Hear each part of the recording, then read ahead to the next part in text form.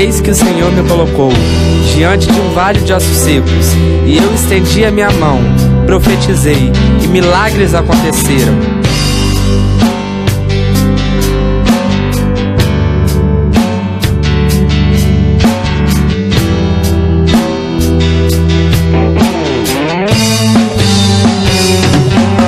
Profetiza no vale da palmeira.